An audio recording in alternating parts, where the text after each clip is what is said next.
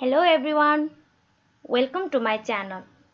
It's Miss Savina and in this video I am going to show you basic concept of chemistry and its branch. Basic concept of chemistry.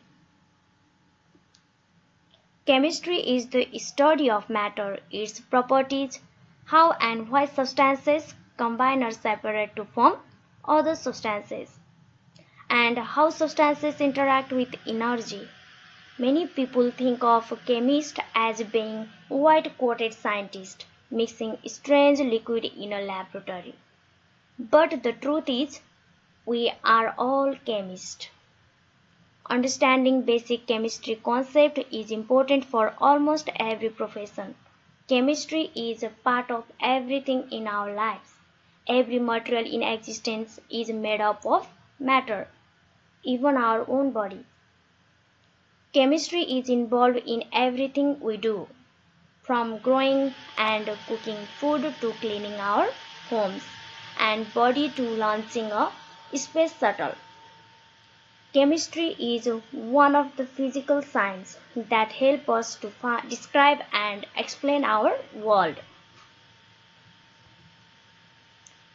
Chemistry is divided into five branches that is analytical chemistry, physical chemistry, organic chemistry, inorganic chemistry and last biochemistry. Analytical chemistry uses qualitative and quantitative observation to identify and measure the physical and chemical properties of substance.